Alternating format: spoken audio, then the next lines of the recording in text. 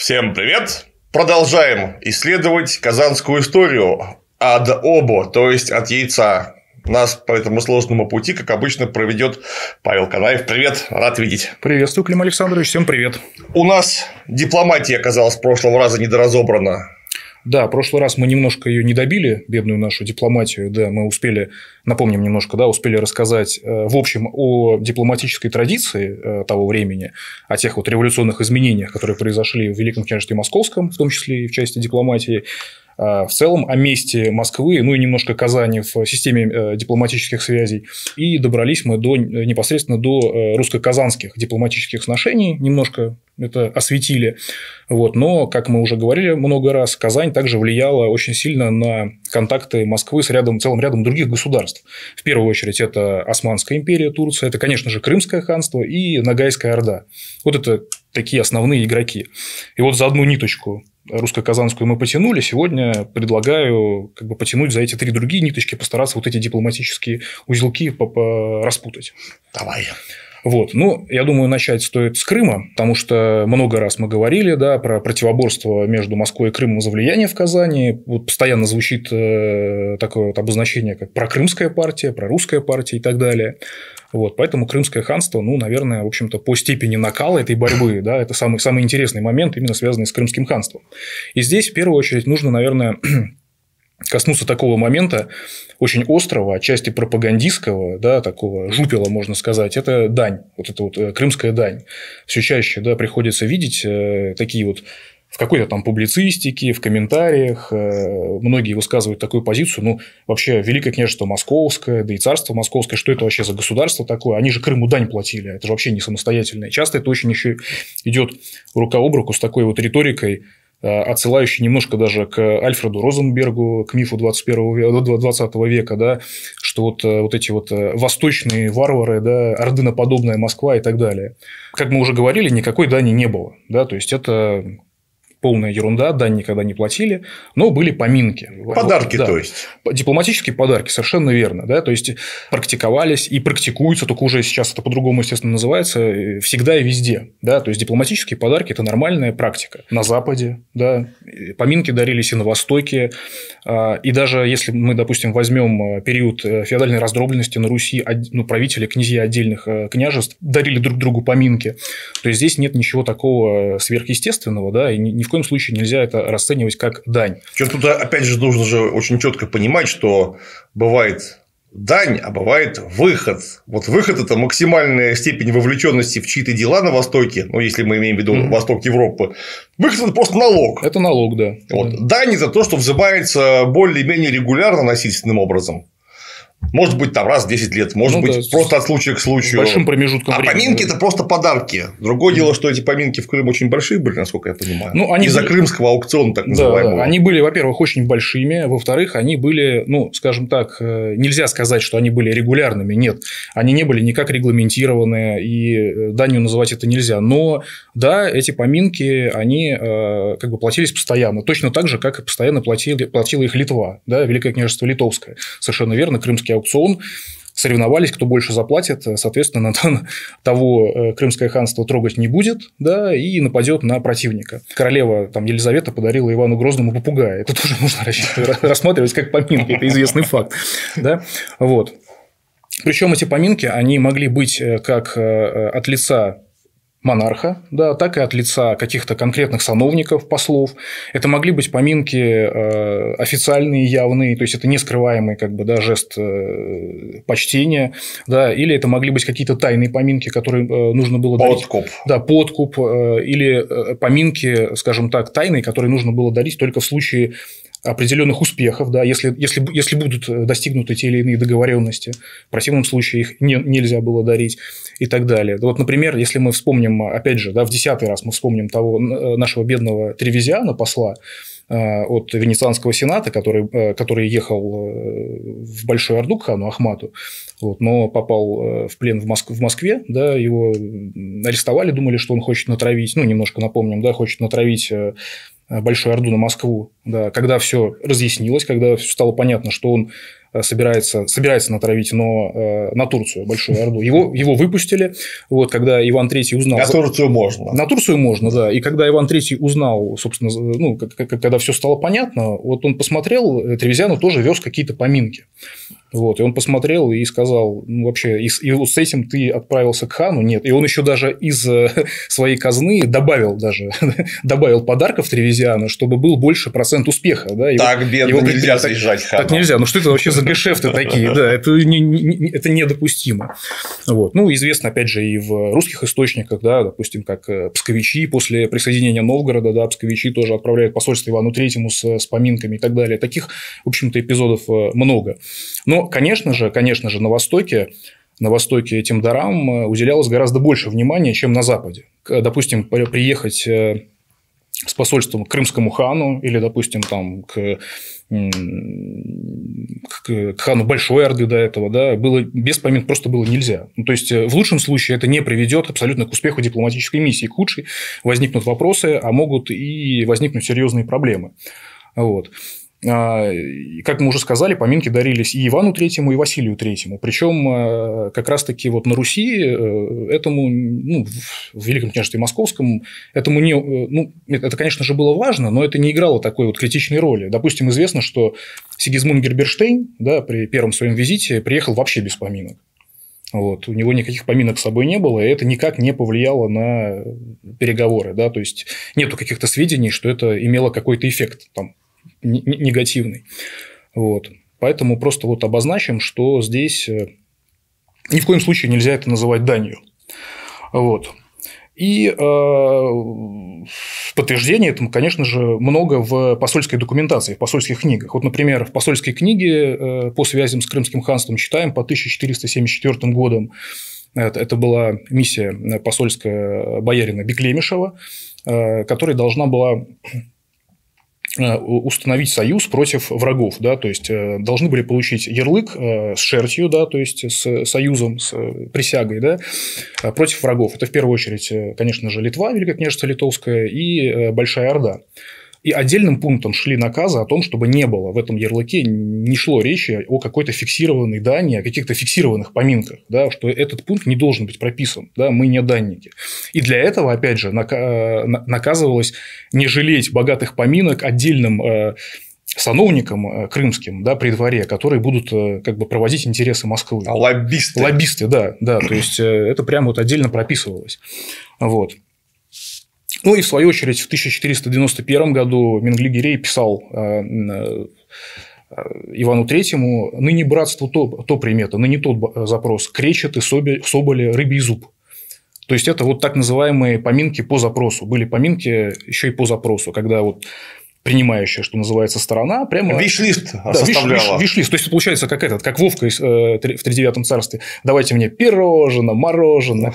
Вот такие вот... Э... Рыбий зуб, моржовый клык имеется в виду. Да, это имеется в виду моржовый клык, рыбий зуб. Э, вот кто э, не был в Новгороде, там очень хороший есть музей прямо в самом Кремле, вот, и там есть, насколько я помню, гребни из рыбьего зуба. И новгородские мастера очень искусно делали разные всякие резные украшения, гребни из рыбьего зуба. Это очень, очень высоко ценилось. Гребни, солонки всякие разные, а потом мне очень нравятся игольники. Да, да. И капаушки. Угу. То есть всякие разные, да, утварь, инструменты, все что угодно, да. То есть рыбий зуб очень сильно ценился. А, кроме того, из рыбьего зуба можно было делать отличную гарнитуру для сабель мечей. Mm-hmm. Они же прям даже есть фактически найденные с полностью костяными эфесами.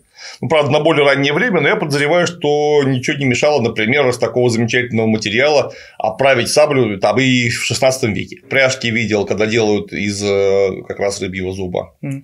Ну, пока... Они довольно специфические, правда, пряжки, но выглядят убедительно, работают хорошо, прочные, красивые. Когда этот рог, наверное, да, правильно, или это кость? Нет, зуб нам все-таки ближе к рогу. Затрудняюсь сказать. Нет, это все-таки кость. Это... кость. Если это сильно наполировано, аж прям таким перламутровым блеском отливает, очень красиво. Собственно, вот были в том числе и такие э, поминки по запросу в отношениях с крымскими ханами. Это, в общем-то, была норма вещей. И то же самое абсолютно считалось нормой и в литовско-крымской дипломатии. Да, и когда и даже периодически крымский хан э, там, великого князя литовского троллит, да, когда вот он говорит, вот хочу с тобой в любви и дружбе быть и так далее. Ну, конечно же, хочешь, ты же не хочешь, чтобы мы набеги совершали. То есть, это даже вот прямым текстом можно посмотреть в, в посольских книгах, и в наших посольских книгах тоже это все отражалось. Вот. Очень приятно, когда читаешь посольские книги, и там крымский хан обижается, что вот прошлые поминки-то были гораздо лучше и да. больше, а, а сейчас ты мне что привезли. Да, или сравнивает тоже, вот Москва шлет какие поминки, а вы мне что, или наоборот. Да. Да. Такое тоже встречается. Очень, что очень интересно, Великое княжество Литовское переписывалось с Крымом по-русски. Mm, ну, это, в общем-то, логично. Сколько, сколько, сколько же там русских, да, и, естественно, это большая часть Великого княжества Литовского, можно сказать, что принадлежит как называемому русскому миру. Это, в общем-то, здесь ничего такого удивительного нет. Вот. Но, э, как мы уже говорили, с нарастанием конфликта, во-первых, после исчезновения Большой Орды, э, как бы общего врага с Крымом, и после нарастания вот борьбы именно за Казань, за влияние в Казани, ситуация э, очень резко меняется, в первую очередь на дипломатической арене. То есть, можно сказать, как мы уже говорили, что именно на, Каза... на Казанской почве вот этот вот конфликт рос. Вот. И э, в дипломатии это проявляется очень ярко. То есть, в первую очередь, это так называемая посошная пошлина. Да, то есть это элемент именно вот старой еще золотоордынской дипломатии, когда мурзы просто бросали посох э, э, перед ногами послов и требовали плату, поминки, опять же, э, за право их переступить этот посох. Вот. И известно, да, есть, опять же, в посольской документации, есть наказные памяти, предписывающие ни в коем случае эту посошную пошлину не платить. То есть, если э, было без этого не обойтись, то предписывалось все бросать, уезжать. Но потому что это было очень оскорбительно, это, по сути, признать зависимость. А, и даже вот э, мы упоминали такого посла Мамонова, который в 1516 году, собственно, попал в такую очень неприятную э, ситуацию в Крымском ханстве. Ему как раз-таки вот предложили эту посошную пошлину заплатить, чтобы попасть на аудиенцию к хану. Он отказался это сделать, тогда ему, это опять же все это задокументировано, это все в посольских книгах есть, да, ему тогда предложили просто сказать э, такую фразу, да, царево слово на голове держу. Но он ответил, быть, быть и без языка мне, а такого слова не скажу, да, потому что а, в, опять же, в восточном этикете, да, в восточном церемониале это означало прямое подчинение, да, то есть держать чье-то слово на, на голове. Вот. И, в частности, вот послы хана Ахмата, да, еще там во время, допустим, были же переговоры во время стояния на Угре, да, обмены посольствами, они требовали, чтобы Иван III, послы Ивана III, колпак вогнув э, внутрь ходили, да, как бы под тяжестью э, ханского слова. Вот. И Мамонов, он это сказать тоже отказался, и, насколько мне известно, он так и не вернулся из э, Крымского ханства. Честно, затрудняюсь я сказать, какие были причины его смерти, да, но, в общем-то, он так, в общем-то, э, свой конец и нашел. Опасное было дело в посольство ходить. Да, это было очень опасно, особенно в Крым, да, потому что действительно очень много было таких случаев, когда послов э, били, посольство задерживали, кидали в темницу и, так далее и тому подобное. Вымогали постоянно поминки, причем как бы да, очень было сложно рассчитать, да, допустим, одно дело это официальные, как мы сказали, уже официальные поминки, да, заготовленные, а другое дело, что там вздумается, взбредется в голову каким-нибудь Э, каким-нибудь там, я не знаю, Мурзам, прочим, да, там, э, феодалам и, и, и так далее, да, то есть здесь э, это было очень опасно и очень затратно в первую очередь. Вот. И с другой стороны, крымские послы тоже часто очень попадали в такие неприятные ситуации в Москве, потому что крымские посольства, как правило, были тоже, они были очень многочисленные, да, и более того, что Иван III, что Василий III просили не направлять большие свиты послов, даже великих послов. Да, хотя вообще было принято, как мы говорили в прошлый раз, что великие послы, да, это самые важные послы э, по самым важным вопросам, там свита могла достигать и 300 человек.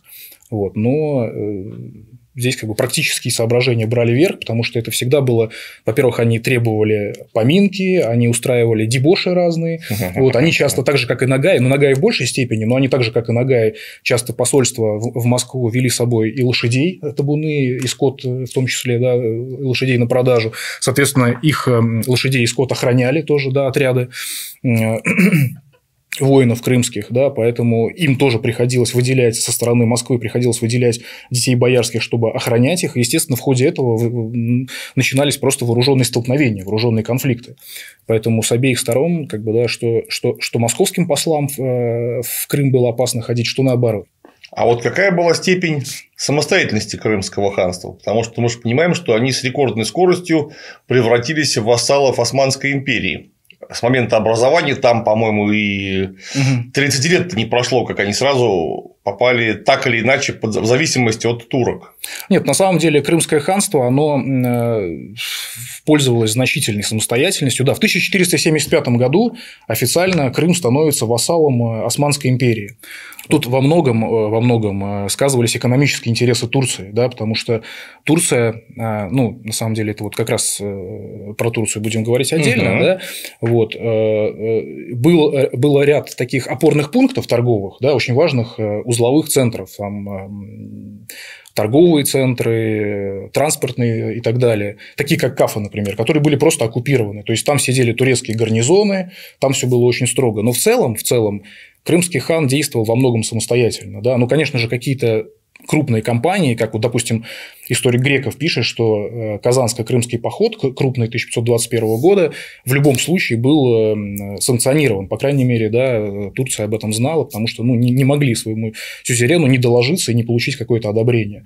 Но, естественно, мы уже тоже упоминали, что очень э, большой, большая была степень самостоятельности отдельных вот э, мурс, отдельных беков, которые даже в какой-то степени даже хан крымский не мог их полностью контролировать. Да, в свою ну, это феодализм, понятно. Это феодализм, это типичный, да, кочевое феодальное государство. Да, поэтому в целом, в целом, да, и вот переписка показывает, что, конечно же, была очень такая большая, большая доля. Это, в общем-то, это, по сути, по сути, было самостоятельное государство, да, которое, ну, во многом, эм, во многом э, поддерживало торговые, да, экономические интересы османского, э, Османской империи в плане вот этой транзитной торговли, да, вот, и, собственно, вот э, согласовывала какие-то самые такие крупные военные операции, да, в которых периодически Османская империя и участвует сама. Опять же, если я все правильно понимаю, Крымское ханство в виде своей элиты делилось на несколько, по-моему, пять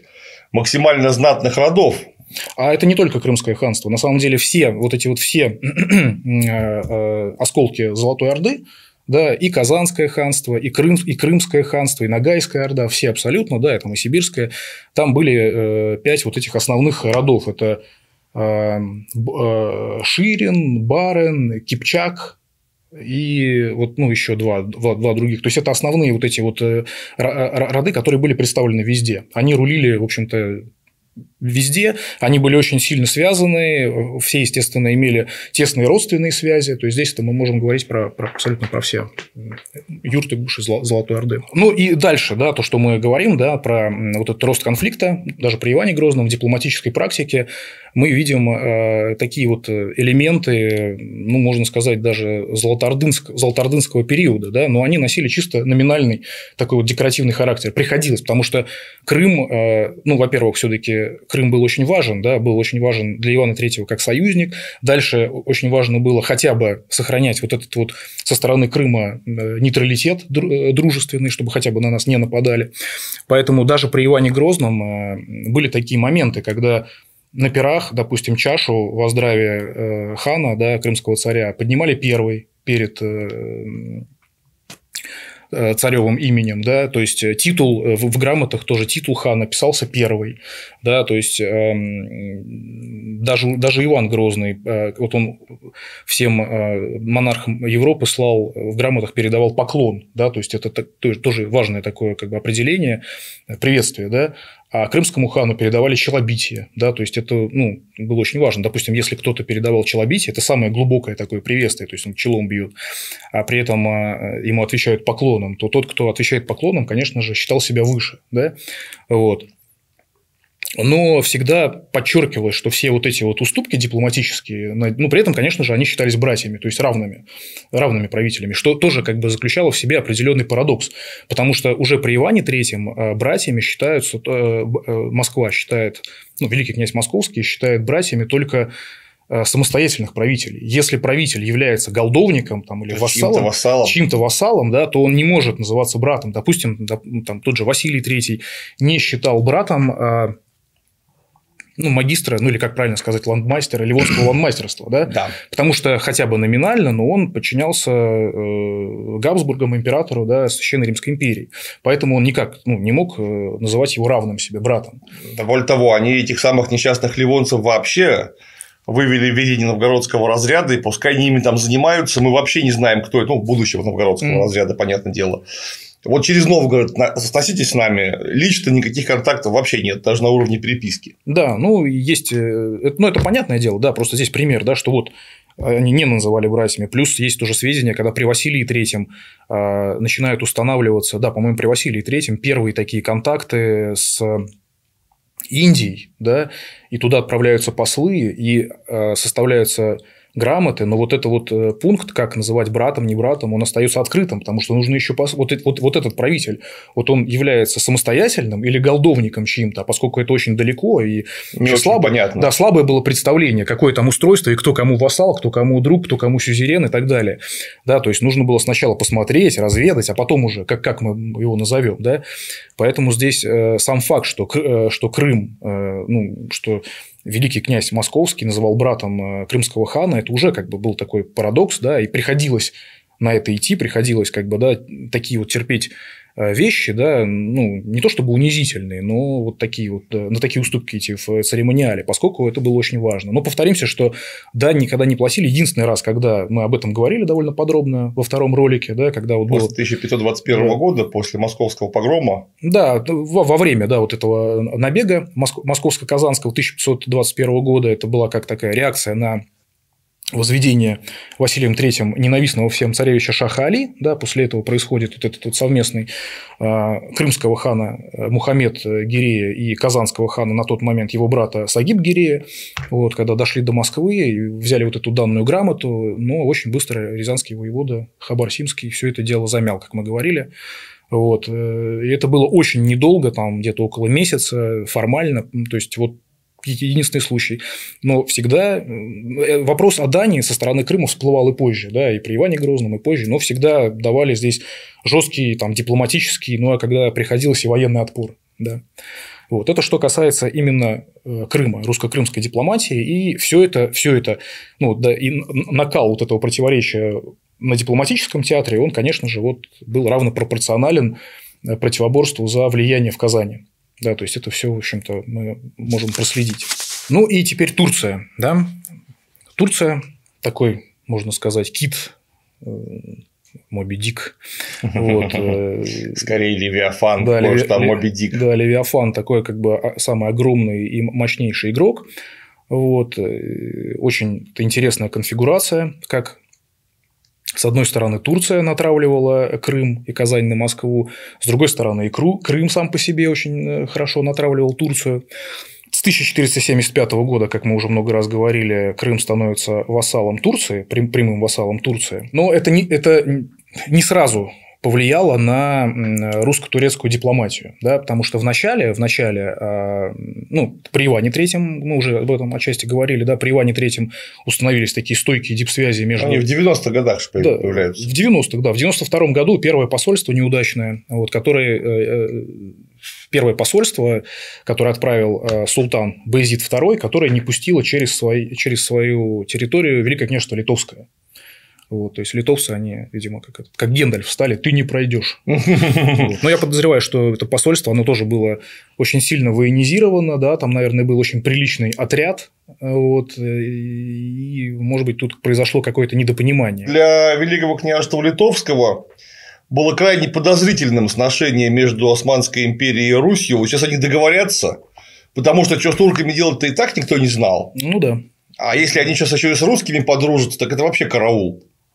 Э, изначально, изначально Турция действовала довольно осторожно, да, и турецкая дипломатия действовала довольно осторожно.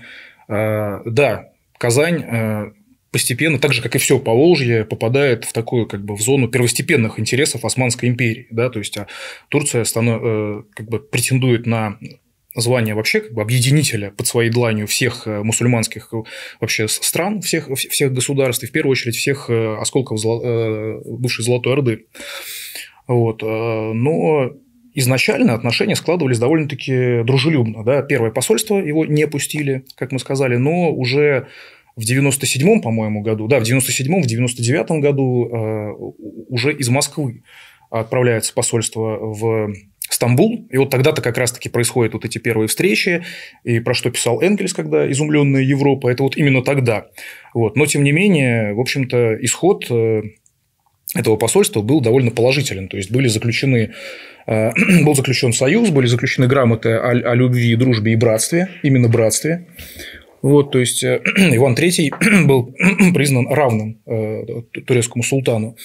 И, в общем-то, эта дружба и братство устраивало обе стороны. Причем, опять же, повторимся, что инициатором установления вот этих дипсвязей была изначально как раз-таки Турция. Турки первые послали свое посольство, направили. Вот. Почему это было выгодно? Да? Во-первых, э, военно-политический момент.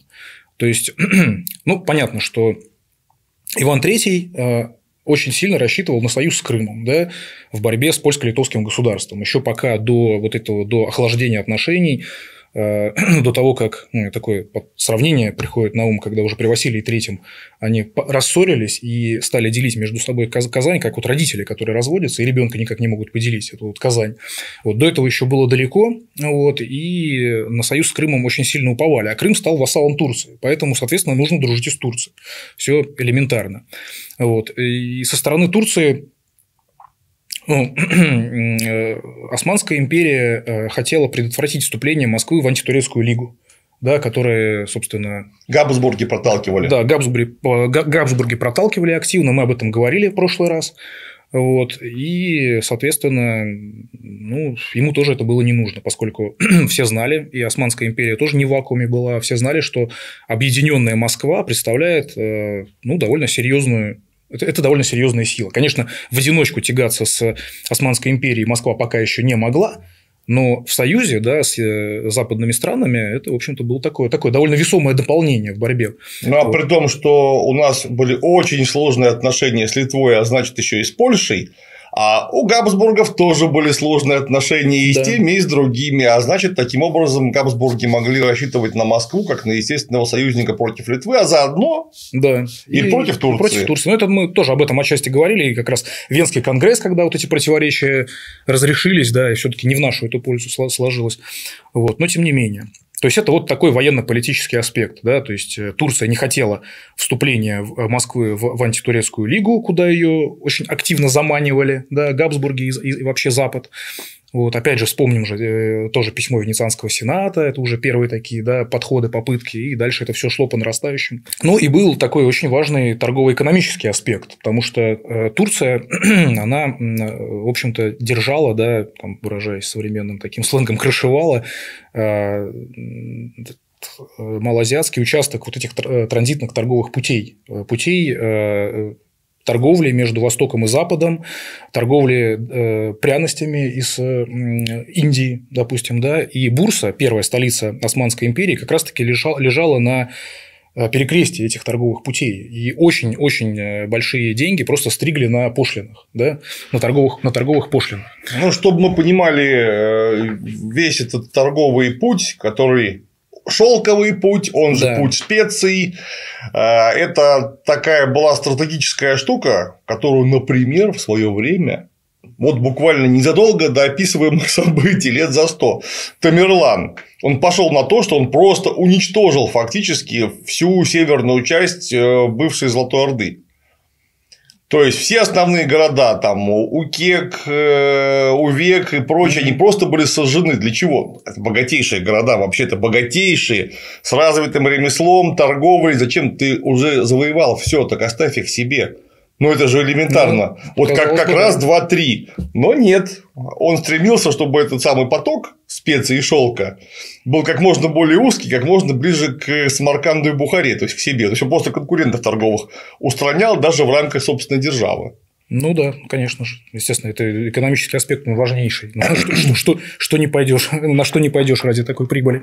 Вот. Ну и э, задолго до этого, на самом деле, московские купцы э, постоянно присутствовали в Османской империи. Вот, э, постоянно туда ездили, торговали. Об этом множество источников говорит не только русских, но и турецких. Например, э, так называемые э, кадийские книги, да, книги кадиев турецких, это судебные такие, ну, чиновники, которые осуществляли судебную функцию, да, вот, и, собственно, там постоянно фигурируют русские купцы, вот, то есть турецкие купцы тоже к нам при, э, приезжали, да, торговля велась очень активно, да, только с Турцией в основном торговали не по Волжскому торговому пути, а по Донскому. Угу, вот, об понятно. Этом, да, мы об этом в следующий раз поговорим, когда уже будем про экономику. Да, про экономику, да.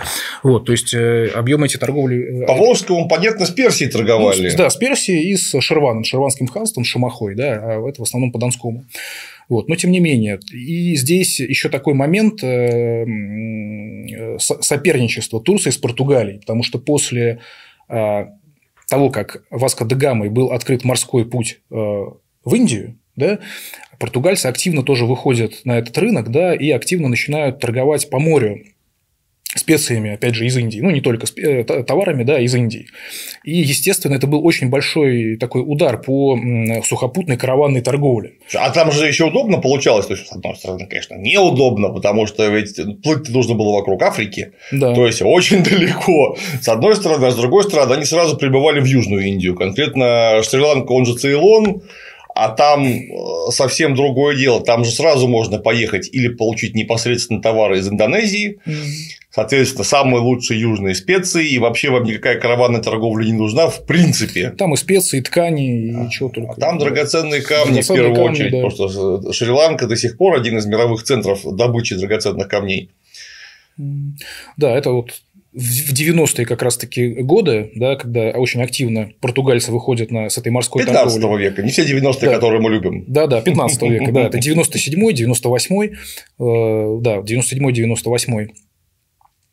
Вот. И, э, конечно же, конечно же, этой караванной торговли, которые крышевали турки, сложно было соперничать с морской торговлей португальцев. Они пытаются, они пытаются э, противостоять португальцам, но на море они им противостоять пока еще не могут. Да? То есть Турция пока еще как бы вот в плане флота даже, даже с Венецией они не очень-то справлялись. Да? А ну, чтобы туркам-то противостоять португальцам, это ж нужно было выйти через Гибралтар на ту сторону, в Атлантику, да, но по они, большому счету. Но они пытались на самом деле, да, даже какие-то есть об этом сведения, да, даже какие-то экспедиции отправляли и прям в Индию морским, морским путем. Турки пытались, но они поняли, что им просто это не осилить.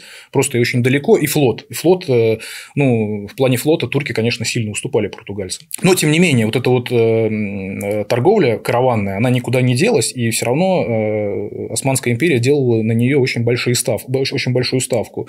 И, с другой стороны, Европа, э, в Европе, да, то есть вот эти торговые пути сместились на северо-восток из-за противостояния Венеции и, опять же, Португалии, да, вот в, в, в, этой, в этой торговле, да, то есть все очень сильно сместилось на северо-восток, и как раз-таки Великое княжество Московское стало очень важным транзитным таким вот отрезком, важным, как сейчас говорят, этим транзитным контрагентом в, в этой торговле, поэтому пытались э, всячески установить эти дружеские отношения, пытались всячески обезопасить торговые связи, в том числе вот этот Донской торговый путь, и, конечно же, это было очень выгодно. Но э, с течением времени, опять же, вот это вот э, противостояние, да, противостояние между Крымом э, и Москвой э, обостряло и русско-турецкую дипломатию. Да, и в Османской империи тоже росли такие воинственные настроения, да, вот, и желание уже покорить полностью, как бы, да, полностью включить в свою орбиту все Поволжье. Не только Турция да, использовала Крым как таран в борьбе за, за Поволжье, но и сам Крым хорошо очень подливал масло в огонь. Вот, например, когда э, в 1519 году был э, посажен с руки Василия III на Казанском престоле э, Шах Алина Шагалей, да, небезызвестный. Широко известный да, в узких кругах хан. Да, широко известный в узких кругах хан с, с редкой бородой с выпитившимся пузом, да, как писал Сигизмунд Герберштейн. А Сагиб Гирей, крымский хан на тот момент писал э, э, османскому султану о том, что э, в Казани порушили прям все мечети, что вместо них строят церкви православные, что прям вот мусульман притесняют. Ну, это, естественно, это было... Попрание скреп всех. Да, да всех, всех прям скреп духовных. И пришлось... Вот в 21 году от Василия III направляется посольство в Стамбул для установления... Как раз-таки это было, насколько я помню, это было первое такое крупное посольство к Э, тому самому Сулейману Великолепному, да, когда уже он стал ханом. Султан. Султаном, султан. султан. Ну, конечно. Да, султан, конечно же, это я заговариваюсь, конечно же, султаном.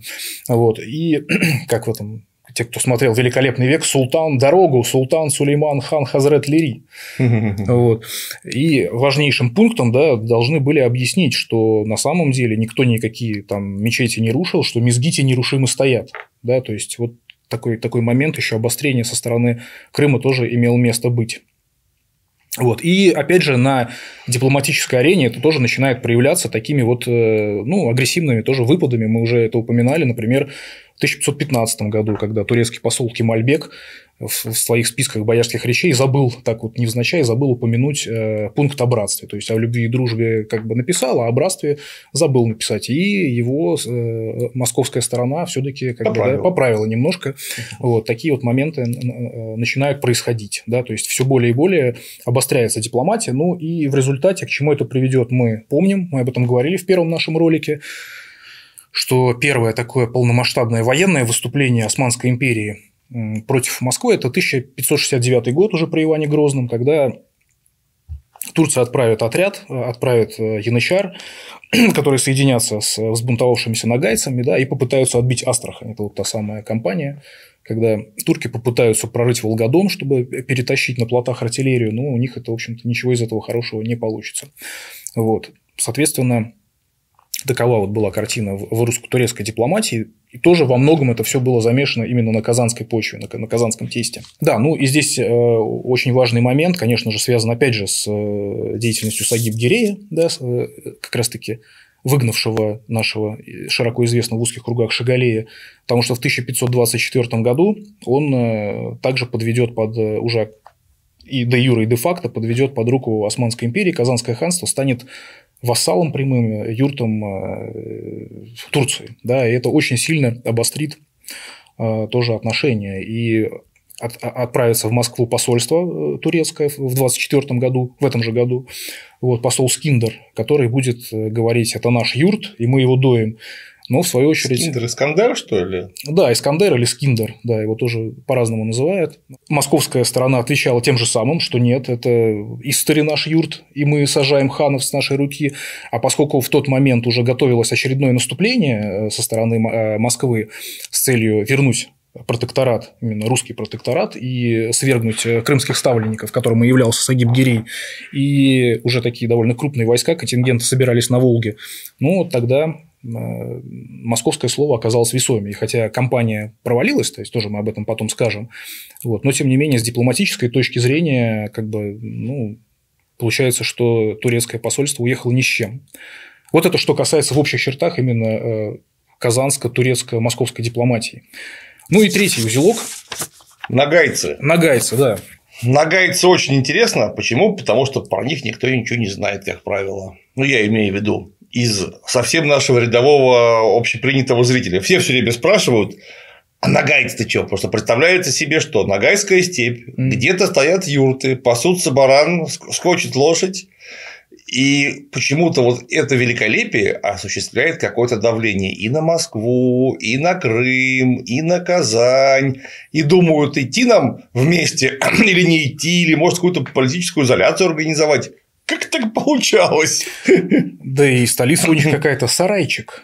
Даже и, и, и даже не сарай, а сарайчик, как столица у... такая не очень. Как у Шуры Каретного, как назвали это? Титаник. Назвали бы Титан или Титанище. да. А тут сарайчик. Сарайчик, э, и даже как это у нас говорили, нас была любимая шутка в годы студенчества. Говорит, слушай, а что ты, говорит, на кафедру медиевистики это поступил? Что там изучать? Века-то такие были, средненькие. Средненькие, да. А вот там не то, что средненькие, а еще и сарайчик в средненьких веках-то. Да, согласен. Нет, на самом деле, отчасти это правильное представление. Действительно, степи пасутся какие-то бараны, лошади, только это очень большие степи и очень много пасется лошадей и баранов. На самом деле, да, Ногайская Орда – это такой феномен, можно назвать его феномен, она очень сильно отличается от всех других э, юртов и осколков Золотой Орды. Вот, и она очень сложна для изучения, для глубокого изучения, потому что есть... У так... них источников мало. У них, во-первых, во-первых, мало источников, во-вторых, даже просто, даже исходя из тех источников, которые есть, э, просто это сложно для понимания. Там столько этих родов, этих элей родовых, там столько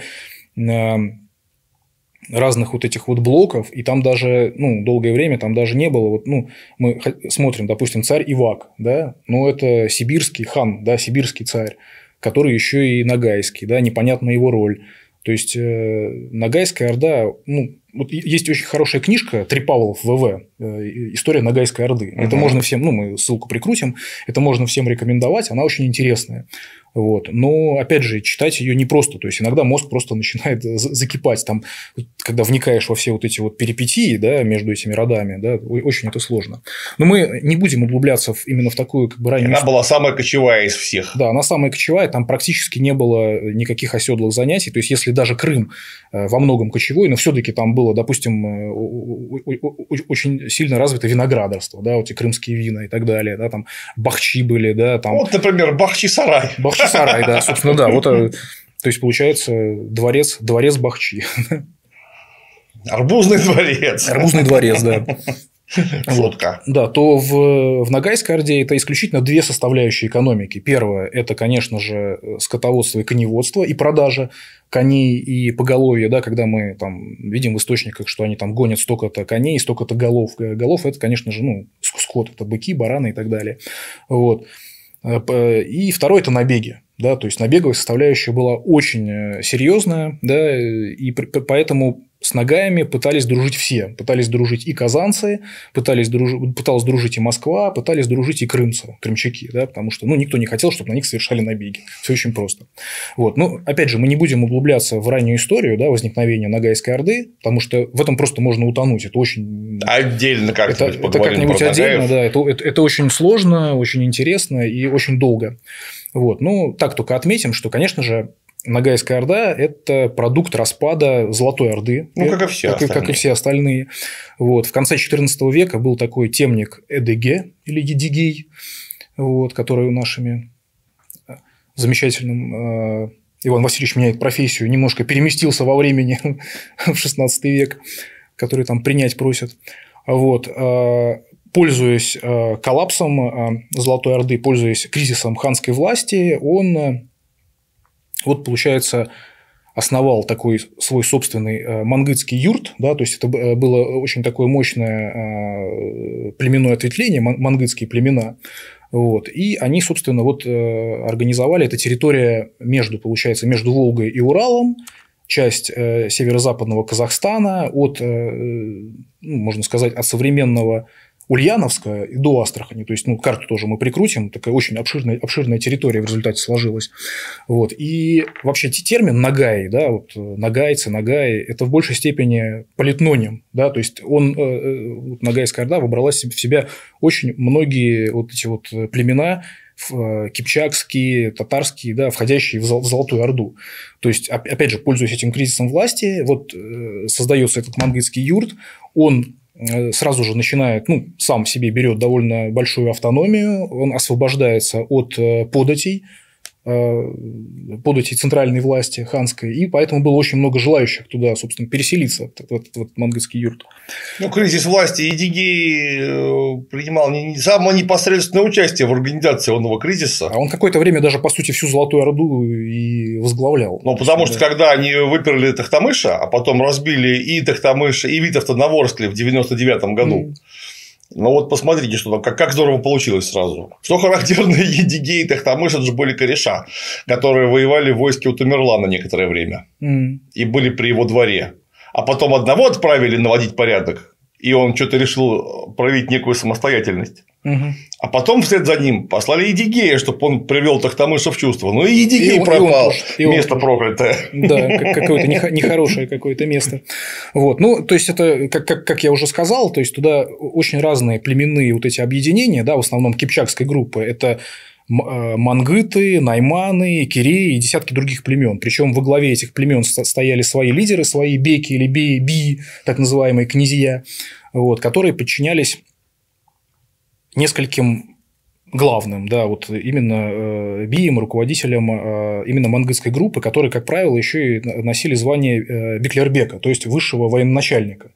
Вот. И, ну, все-таки изначально, изначально нельзя, нельзя говорить, да, что там при Едиге это полностью самостоятельное, э, полностью самостоятельное государство, да, или там э, образование, вот, но серьезное такое возвышение, да, и обособление происходит уже во второй половине 15 века и э, связано с такими вот личностями, как Муса и Емгурчи, это братья, да, и как раз-таки Муса был Беклербеком Нагайской Орды, да, и по сути а, а, это были вот фактические правители да, Нагайской Орды, вот, причем изначально все-таки соблюдались правила, да, потому что формально, формально в, в татарском мире да, легитимной властью могли обладать только чингизиды, да, поэтому все-таки а, пытались призывать каких-то ну, формальных ханов да, из чингизидов, а если э, как бы сужать, да, из джучидов, да, то есть из Улуса Джучи. Вот. И, в частности, вот это были царевичи из рода Шейбани, сибирские ханы. Да? То есть, а, это был царь Ивак. Вот. И если мы то есть, по сути, это был э, э, э, и фактически, да, это был сибирский, сибирский царь, царь, сибирский хан. Да, и он, ну, по факту мог распоряжаться именно, ну, в полном смысле слова, ресурсами сибирского ханства. Но номинально он еще и являлся правителем Ногайской Орды. Вот. И именно Ногайская Орда, именно вот силы Ивака, Емгурчи и Мусы поставили такую прям жирную окончательную точку в, э, в падении Большой Орды.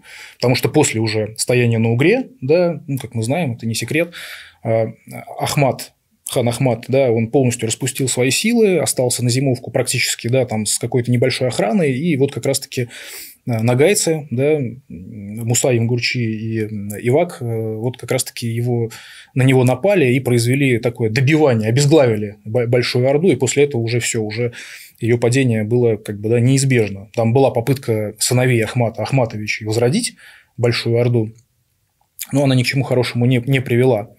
Вот. И э, э получается, что говорить о окончательном обособлении да, Ногайской Орды, когда уже Ногайская Орда окончательно самостоятельное э, ну, государственное образование, да, политическое образование, ну, наверное, можно все-таки с 1502 года с окончательным, с окончательным падением э, Большой Орды. Кстати, вот э, то, что мы говорили во втором ролике про царя Мамука, который вместе с Климетом и с рядом казанских князей изгнал Мухаммед Эмина с казанского престола, да, это был брат э, Ивака, сменивший, сменивший его на, на посту сибирского э, хана и номинально хана Нагайской Орды. То есть, все это здесь было очень сильно замешано.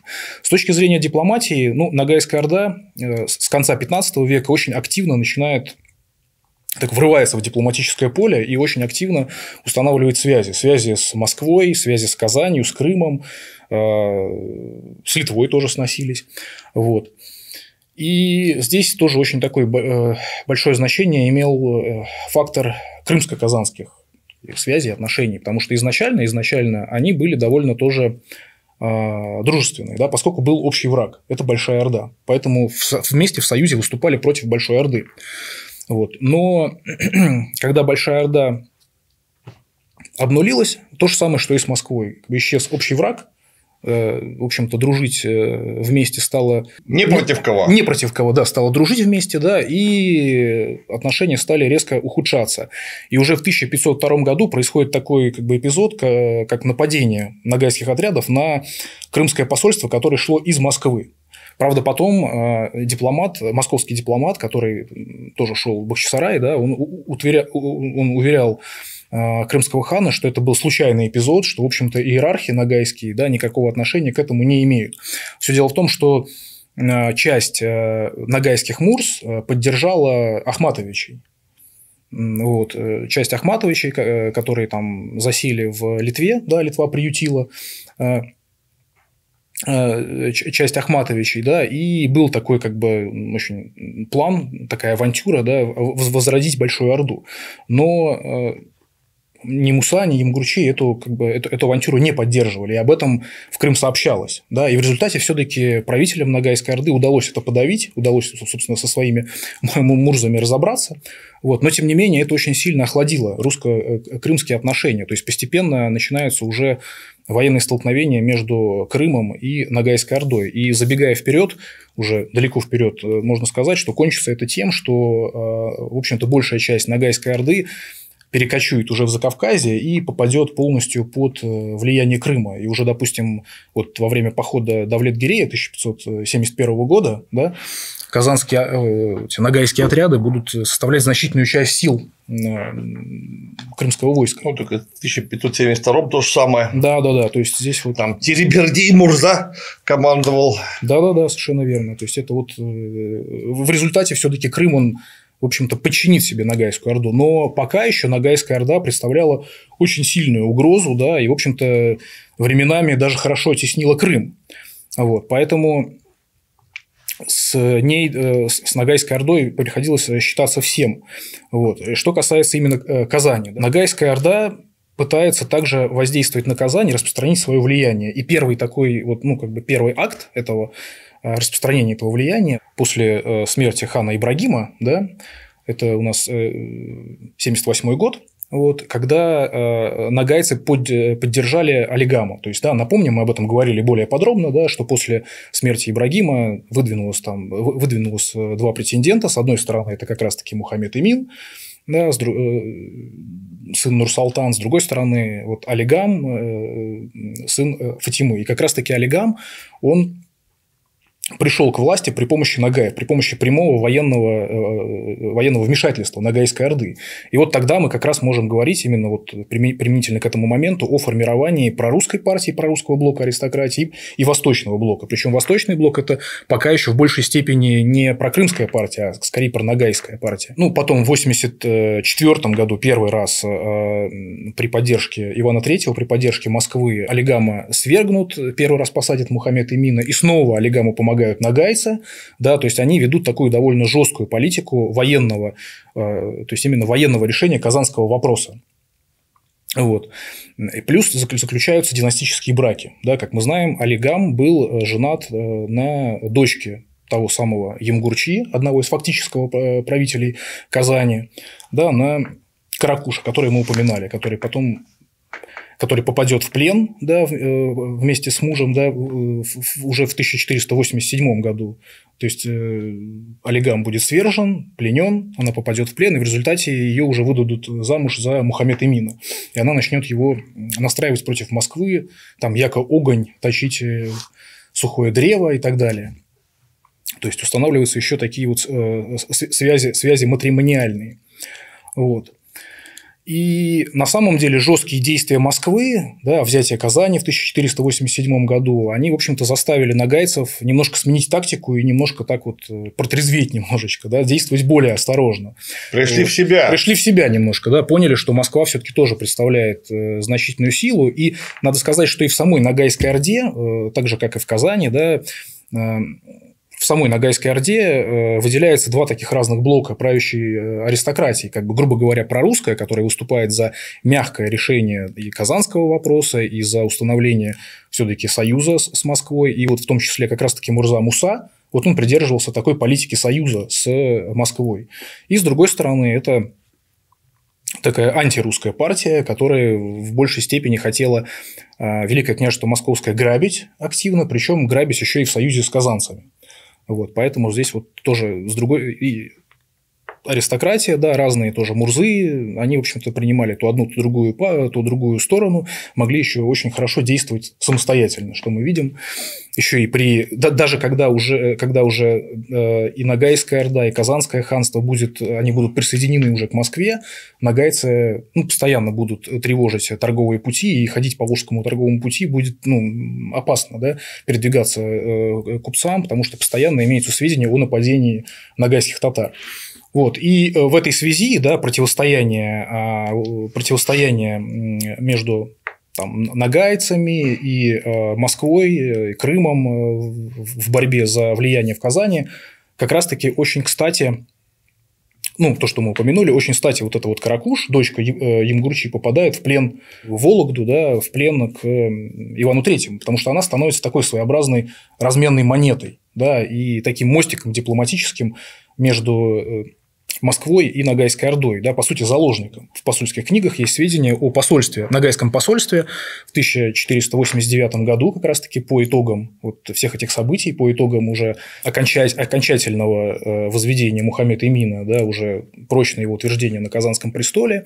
Вот, это посольство от э, царя Ивака, опять же, да, ну, сибирского царя и номинально нагайского царя, и от э, как раз-таки Мурзы и Имгурчи. И Ивак просит э, освободить из заточения Алигама, да, или вот Алихама, да, который э, находится в плену. Да. Брат мой, Алигам, царь, по случаю в твоих руках стоит. Со мной впрок захочешь братом быть, брата моего ко мне отпусти. Вот. Ну и, разумеется, речь также шла о том, чтобы отпустить и жену Каракуш. Вот. И в ходе этого посольства да, Иван III отправляет такой ответ. Да? Ивак царь приказал нам о дружбе и о, бра... Э, и о братстве, а Морзы приказали к нам о дружбе же. А нашего недруга Олегамова люди царевы, которые от нас бегают, Алказы, да Тевлет Сиит, и тех людей Ивак царь, да и Мырзы у себя держат. А нынче к нам прислал Магмед Аминь царь, а сказывает, как есть и нынче ко мне шли, и на с вами вместе идущие те люди, Алказы, да Касым Сиит, да Бегиш, да Утеш, да Имырзина, Емгурчеевы люди, твой Тувачев брат да сын, да зять, и с иными людьми с Емгурчеевыми, землю Магмед Аминеву, цареву, и нашу воевали, грабили, да и головы в полон поймали. И но пригоже ли так? Похочет с нами Ивак царь дружбы и братства, а морзы с нами дружбу похотят, и они бы то взятое, головы и иной грабеж весь, что алказы, да, да Касим сиит, да бегишь, да утешь, да Тувачев брат, да сын Тувачев, да зять и, э, с, с иными ямгурчеями людьми, нынче с вами идущие, взяли в нашей земле и в Магмед Эминевой цареве, то все бы голову иной грабеж весь велел отдать, а тех бы наших беглецов ну, прочих, прочих, прочих, э, которые с ними были, велели бы казнить, чтобы э, вперед такого лиха от них не было. Да, то есть, ну... А пригоже ли так? А вот пригоже, замечательно. Так, ну, да? разве так красиво делать? Просто вот, ну, блестяще. Как я люблю вот эту всю переписку читать. Великолепно. Да, это очень, очень интересно. Язык. А алказы это, видимо, какой-нибудь алькази имеется ну, в виду. Да, естественно, алькази, да, это все адаптированные, да. Понятно. Все...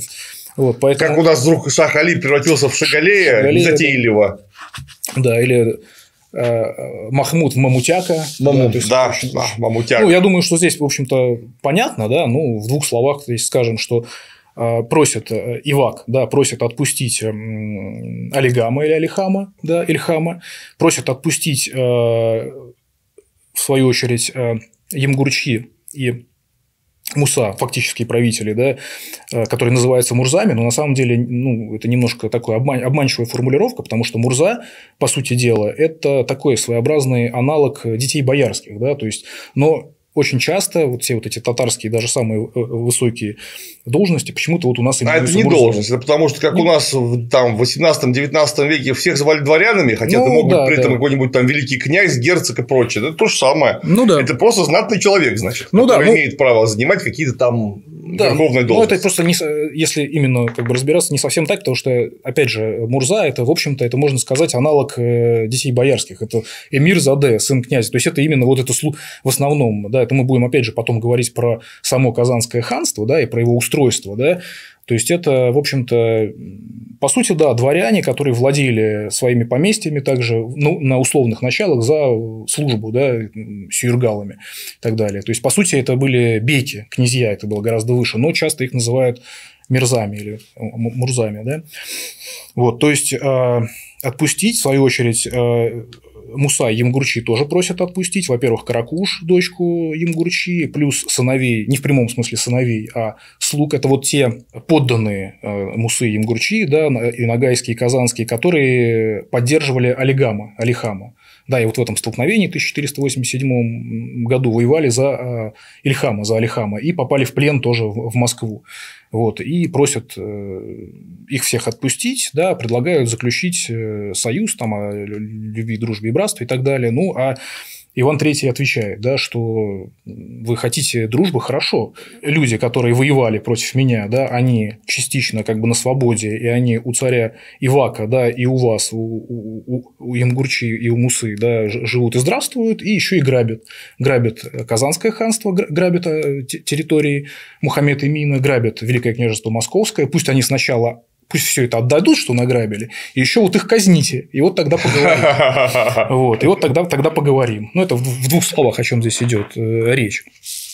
Вот, ну и опять же, да, вот мы уже упомянули снова Мамука, это, собственно, младший брат, младший брат Ивака, который займет его место после смерти брата, который станет сибирским ханом и номинальным правителем Нагаев, Нагаев Нагайской Орды.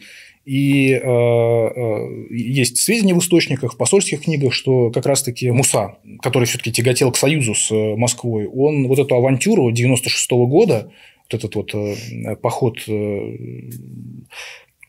Мамука вместе с Калиметом и с э, князьями, этими мятежными казанскими, он не поддержал. И даже более того, он вслед Мамуку отправил своего сына и 2000-й отряд, но не успел, не успел препятствовать вот этой вот авантюре. Да? Ну, в результате, опять же, кому интересно, можно тот ролик посмотреть. В общем-то, ничем это хорошим не, не, не кончилось, в первую очередь для Мамука.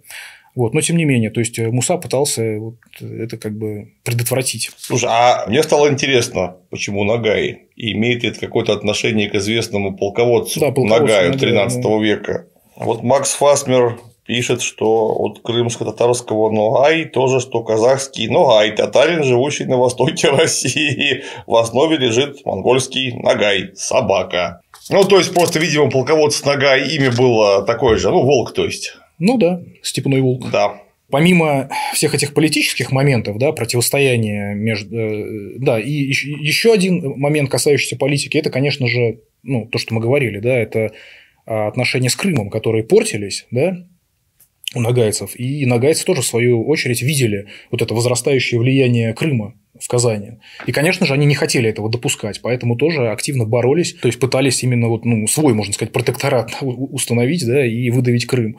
Вот, по, по отношению к Москве тут вот позиция, она постоянно менялась тоже в зависимости от того, какая страна, какая партия. Вот, допустим, Муса был э, сторонником союза с Москвой, а Емгурчи, его брат, в свою очередь, который тоже имел очень большой политический вес еще при жизни брата, а после его смерти станет ну, практически единственным таким фактическим правителем да, авторитетным, он, в общем-то, занимал довольно такую воинственную позицию по отношению к Москве и был сторонником военного решения казанского вопроса. Вот. Но помимо, э, естественно, помимо э, военно-политического аспекта тоже очень важен был экономический, торговый, да, потому что мы уже сказали, да, помимо набегов важны, э, важна была торговля лошадьми и э, скотом. С каждым посольством практически нагайцы приводили табуны лошадей на продажу. Причем там, по некоторым сведениям, по некоторым источникам, иногда там до 40 тысяч э, коней туда достигал. Не знаю, насколько это достоверно, вот.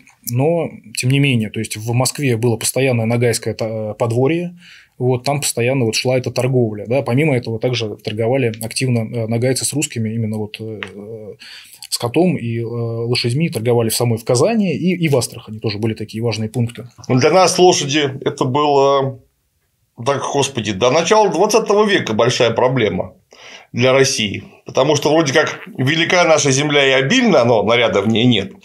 А с другой стороны, у нас лошадь в дикой природе не водится да. сама по себе. Ну, там, может быть, за исключением э, какого-нибудь там э, черноземья, э, белгородских, курских степей, там, возможно, они уже и есть. А вообще-то вот в сердцевидной России лошадь в дикой природе не существует. Ну, а лошадь это что? Это тягловая сила крестьянского любого хозяйства. Ну, у нас что греха таить, это безлошадие или худолошадие. Вот, извольте видеть, до индустриализации страдало наше село очень сильно. А значит, и вся экономика. Ну и плюс воевать на чем-то надо. Опять же, у нас своих лошадей нет. Ну да, вплоть до того, что крестьяне сами себя впрягали. впрягали в плуг. Это и на самом деле, да, это было даже вот поднятую целину Шолохова да, почитать. Вот и даже, да. даже, даже тогда это было совершенно нормально. Вот. Ну и, конечно же, да, это не, не а, только. А, да, и удобрение, конечно. И, и удобрение, удобрение. Да, это очень важно, да. Да, и э, это не да, это и лошади, и практически ну, львиная доля вообще, в принципе, всего поголовья скота. Это и бараны, и там коровы и так далее. Это, в общем-то, большая часть поступала именно из Ногайской Орды. Да, то есть непосредственно с посольствами, в Казани и в Астрахани. Вот в торговых хабах. Да, в торговых хабах. Вот. И э, в том числе, в том числе э, нагайцы гнали все эти табуны, да, вместе с вооруженной охраной, конечно же, через территорию, в том числе и Казанского ханства. Ну, поэтому как бы многие хотели дружить, чтобы лучше торговать, чтобы беспрепятственно, беспошлино, без каких-то проблем, да, в том числе и э, проходить казанскую территорию. Вот, поэтому вот тут еще такой был очень важный такой вот момент торгово-экономический. С этими посольствами и с этими табунами очень много проблем возникало, да, постоянно. Ну, как бы, когда собирается такое количество воинов конных, да, степных, они сразу же начинают себя осознавать джигитами. Вот, и вести себя омерзительно. Вести себя омерзительно. Поэтому, повторимся, так же, как и с Крымом, даже с Ногайской Ордой это в большей степени ощущалось. Постоянно приходилось их встречать на границе, приходилось их провожать. Да, то есть, крупные отряды детей боярских, которые еще и не всегда могли с ними справиться. Да, поэтому приходилось много отряжать детей боярских. Вот это все было очень накладно и сложно. Вот. И здесь тоже вот э, показательный такой момент, что как раз-таки, когда в 89 году пришло то самое посольство, о котором мы говорили из Нагаев, вот, а, Иван III отправил э, своих э, представителей навстречу этому посольству, да, и были как бы такие вот наказы. А, великий князь послал против нагайского посла Юшка Подьящего, а велел ему давать и корм на стану по два барана, а овчины назад отдавать а на кони, на которых они едут, на 10, на 10 лошадей четверть овса, а которые кони гонят на продажу, на те э, кони корму не давать. То есть, э, получается, что были даже и такие прецеденты, что нагайцы еще и требовали корм для лошадей, которые предназначались на продажу. Да, то есть, в общем-то, им палец в рот не клади, по локоть откусит. Вот, поэтому, в общем-то, нагайцы такие были очень бравые. Не, ну, с другой стороны, представишь себе там тысячи лошадей, если они в степи сами себе корм найдут, а как только ты приезжаешь к нам, пастись тут негде очень часто, поэтому как мы их продадим? У нас еды-то нет, они просто не доедут до места продажи. Ну, Может, вы нам как-то поспособствуете? Ну, да. А с другой стороны, как-то тоже интересно. Вы их продавать собрались, так запасите едой, ну. потому ну, что сейчас мы их будем кормить, а потом уже мы у вас их еще и купим. Вот здорово. Ну, ну, ну, понятное дело, что это довольно такие быстрые, ну, они продвигались довольно быстро, и какие-то большие громоздкие обозы они с собой не брали. Но, насколько мне известно, в общем-то, всадники, даже вот э, конные вот эти вот ратники, кон, даже конные лучники, да, они довольно много могли вести и на себе. Да, то есть там до, это, кстати, это, кстати говоря, это заблуждение, что ты много сможешь навьючить на лошадь. Во-первых, куда? А во-вторых, у тебя же есть твоя лошадь личная, на которой ты едешь, угу. и заводная. Да. Так вот, заводная должна идти или вообще без груза, или в легком грузе очень, ну, так, да, чтобы она не, не, не иначе какой смысл, ее, да, иначе смысла чтобы нет. она не устала. А сколько ты навьючишь на лошадь? Учитывая, что в среднем это же эти самые мопеды волосатые, метр тридцать ростом, там метр тридцать пять. Ну да, метр тридцать. Хорошо, если метр сорок. Метр сорок это уже довольно большая. Да. А, ну вот ты весит в снаряжении всадник килограмм восемьдесят. Ну, я имею в виду, что люди были мелкие все-таки. Ну да, да. Метр шестьдесят пять. Меньше весили, да. Вот. Ну, вот 80, 85 кило он весит а, в снаряжении. Ну, еще килограмм 25. Ты можешь навьючить так, чтобы лошадь не охренела от веса. Mm. Потому что, что, лошадь-то весит такая, килограмм 400 максимум. Mm. Это же не ну, здоровенная, да. это скотина 500-550 кило или даже 600. А это вот такая вот, ну, почти пони. Ну, ну, да. ну 100 килограмм ты вместе с собой, конечно, на нее навьючишь. Ну, 120 – это очень немного. Ну, это понятно. Ну, значит, надо вести с собой обоз, потому что это действительно как-то странно, да, то есть вы продаете их, еще и, еще и должны их кормить, да, бесплатно. Получается. Накладненько. Да, накладненько, как-то как это, себе в убыток так получается. Ну, в общем, да, то есть э, следили за тем, чтобы не давать корм, да, на вот именно лошадей, которые на продажу. Тем более, если они могли там, опять же, там по несколько десятков тысяч э, гнать, это очень накладненько получается.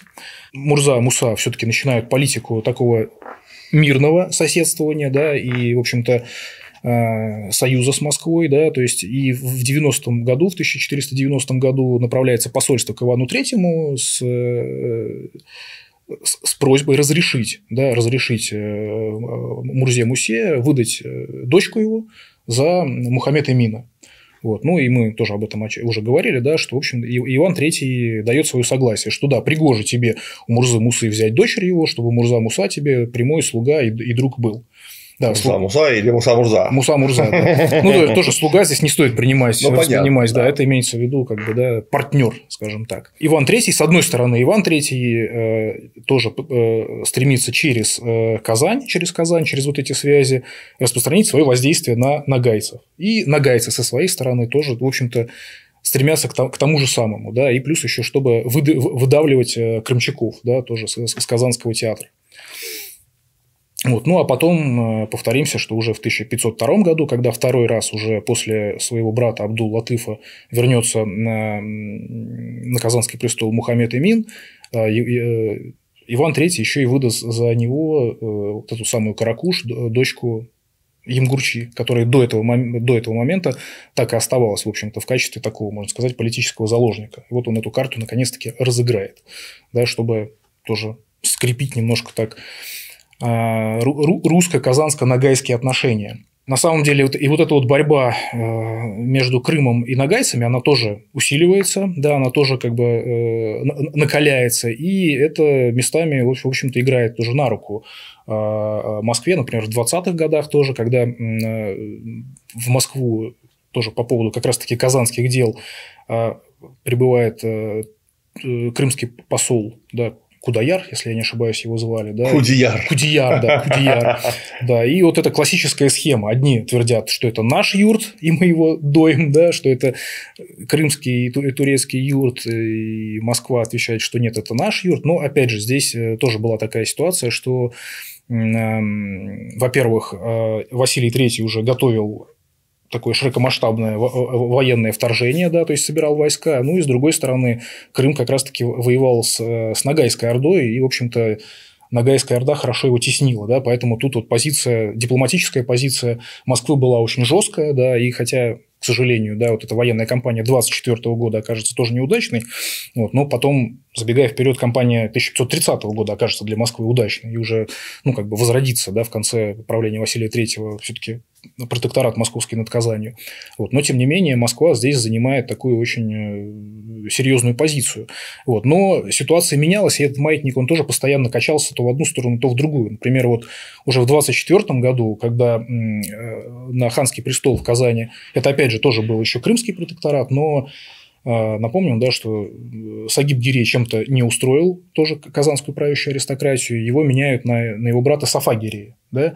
И вот тогда уже э, наблюдается такой союз уже Крыма с нагайцами. Да? То есть э, крымчаки действуют совместно с нагайцами, да, и при помощи, опять же, нагайцев устанавливается союз с Астраханским ханством. Вот, э, Каза Казани с Астраханским ханством, и Сафа Гирей даже женится на дочери э, Астраханского хана Мамая. Да, то есть это не тот Мамай, не надо, не надо путать. Более другой. Это более другой Мамай.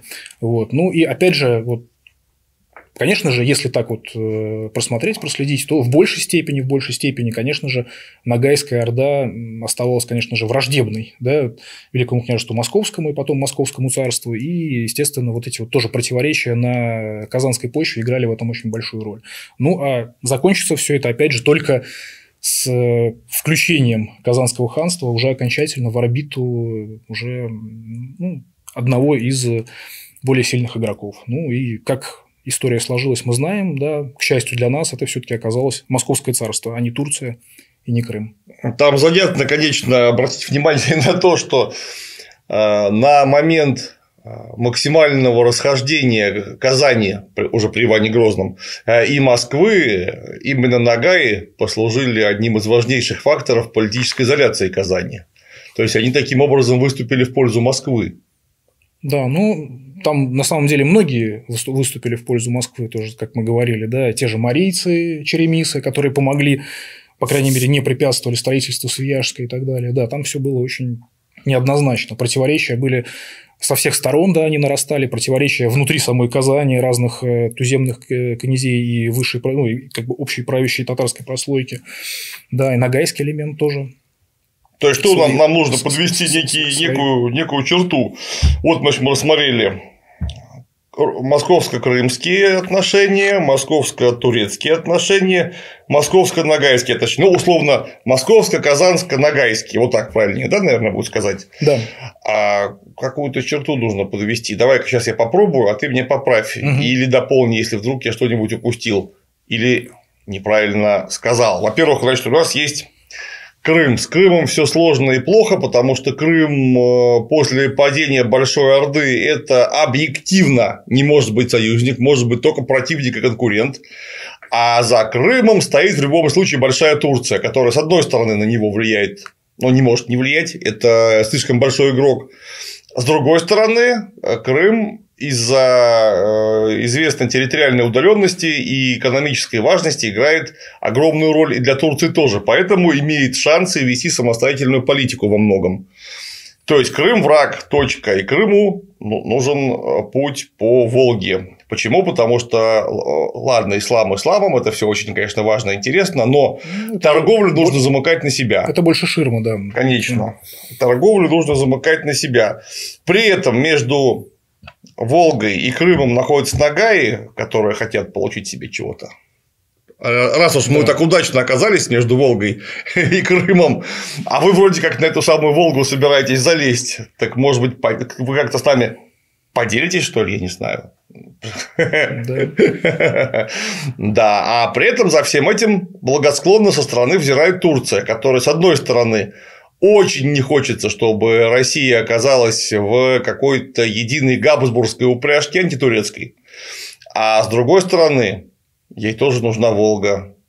А значит, э, так или иначе придется, пускай последовательно через Крым, э, вступить в конфликт э, с Россией. Но при этом как-то сделать так, чтобы Россия напрямую не включилась в Габсбургскую упряжку. О, как интересно. Да, ну на самом деле, да, все именно так и было. Да, это в общем-то, разложил все это по полочкам, э, и действительно, если так посмотреть на всем этом театре, все-таки как бы основные, вот если, ну да, Ногайская Орда – это очень важный фактор, но тем не менее, как в конце концов сложится, сложится все, да, то есть все-таки и Ногайская Орда тоже подпадет под Крым, да, все-таки основные вот два, если, если самых вот крутых акторов, это все-таки Москва и Крым.